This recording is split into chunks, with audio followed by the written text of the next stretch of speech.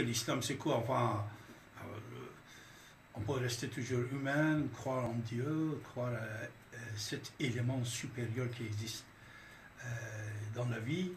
Mais c'est vrai, si on est partagé,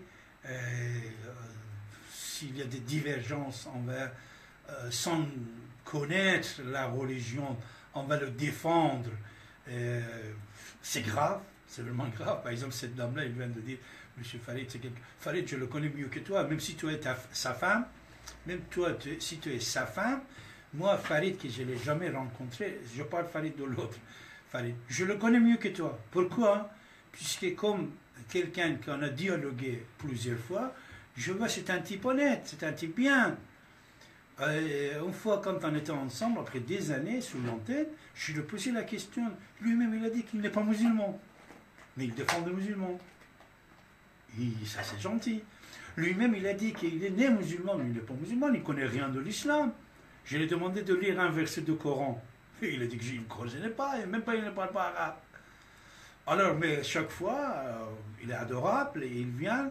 Moi, j'écoute Farid quand il parle avec Morgan sur d'autres sujets politiques et tout ça. C'est très intéressant. Mais seulement un conseil que je vais te donner, Farid, s'il te plaît. Laisse tomber Israël. Toujours Israël, Israël, Israël, Israël. Laisse tomber l'Amérique. Il y en a beaucoup d'autres sujets dans la vie. Ah, ils sont très loin de nous. Ici en France, oh, il y en a énormément de problèmes. Pensez à régler tous ces problèmes-là. Pensez à la France.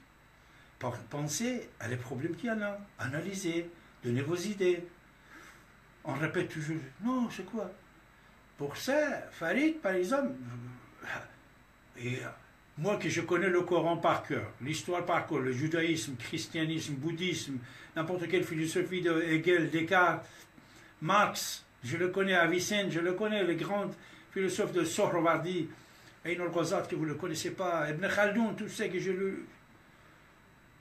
Quand je dis quelque chose, ce n'est pas le marchand de tapis qui parle avec vous, mes amis, avec tous les respects que j'ai pour le marchand de tapis.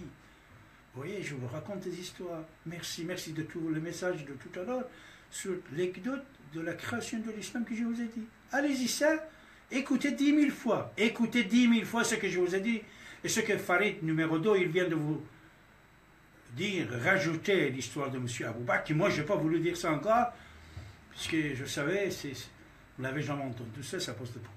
Permettez-moi de vous embrasser toutes et tous, on est arrivé à la fin de mon émission. Je vous remercie beaucoup. J'ai beaucoup de respect pour vous toutes et tous. Je ne suis pas comme certains parmi vous qui, dès que vous voyez quelque chose qui ne colle pas avec vos dogmes, tout ça, vous. Euh, voilà. Non. Moi, je vous aime toutes et tous parce que j'aime l'humanité. J'aime l'humanité et je sais que tout le monde ne pense pas pareil. Tout le monde n'a pas la même valeur dans leur tête. Il y a une partie des gens qui ont déjà des ennemis dans leur tête. Ah, c'est sûr. Ce matin seulement, j'ai dit la dernière chose. J'ai un voisin et il y a deux euh, vendeurs dedans. Les deux sont musulmans. Il y en a un le matin, l'autre après-midi. Ce qui est le matin là-bas, chaque fois quand je le vois, il est gentil, il est formidable. De temps en temps, il fait entrer dans la boutique, il y a un thé, tout ça. Euh, l'autre qui est l'après-midi. Cet après-midi, j'étais allé, aller chercher quelque chose. Et acheter quelque chose. Ça coûtait 100 euros.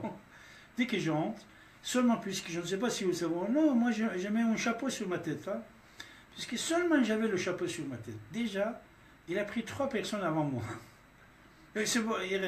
après, à la fin, quand je parle avec lui, il regarde euh, le toit. Et à la fin, quand je vois quelque chose qui est devant lui, il dit que je ne l'ai pas, et ça ne va pas coller. J'ai compris que ces deux personnes. Je vous ai dit l'histoire de couscous. Maintenant, prenez bien aussi l'histoire de deux vendeurs dans la même boutique et je vous assure, je vous assure que c'est la vérité, je ne plaisante pas, je n'invente pas. Deux personnes dans la même boutique, 100% différents. Seulement dès qu'il me voit, David Abbassi, l'après-midi, il ne veut même pas me vendre quelque chose, mais l'autre, et le deux, c'est des musulmans. Mais vous soyez toutes et tous de celui qui est le matin dans cette boutique. Je vous embrasse je vous dis au revoir mes chers amis. À lundi. Bye.